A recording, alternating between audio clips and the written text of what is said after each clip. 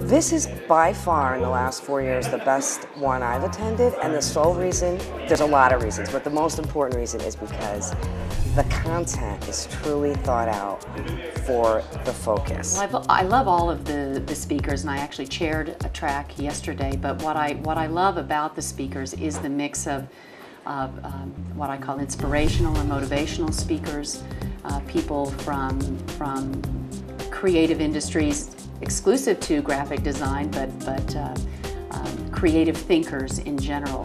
Fuse for me is about getting out of the office, getting together as a community, inspiring people, really sort of getting out of our, our modes and our kind of ruts. Oh, I'll be coming to Fuse as long as Fuse exists.